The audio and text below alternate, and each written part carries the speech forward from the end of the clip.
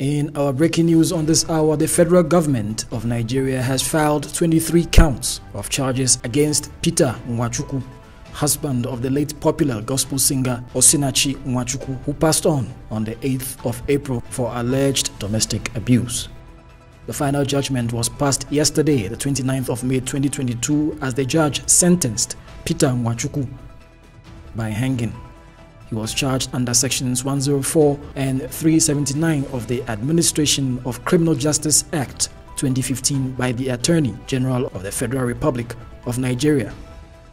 The gospel singer who passed on on the 8th of April will be laid to rest on the 25th of June 2022. The husband, Peter Nwachukwu, was arrested soon after the passing on of his late wife for a case of suspected. Initial reports said that the 42-year-old Nigerian gospel queen had been sick with throat cancer, but her family denied the reports alleging that she had been a victim of domestic. We will be bringing you more on this story in our subsequent bulletins right here on AMTV.